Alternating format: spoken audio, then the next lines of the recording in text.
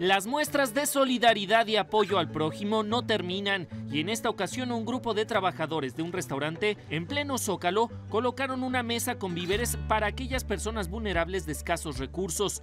Esta mesa se ha mantenido por el, las donaciones de nosotros mismos, los- el personal de aquí, la empresa que ha donado la leche, varias cositas, las botellas de agua, pero esta mesa ha subsistido hasta ahorita por nosotros. Todos los colaboradores decidieron donar algún producto de sus alacenas para apoyar a la gente que transita por la zona. Pero mientras están esperando les hacemos la cordial invitación que si gustan apoyarnos a nuestra mesa de donación con lo que ellos puedan, azúcar, huevo, leche, agua, lo que se pueda.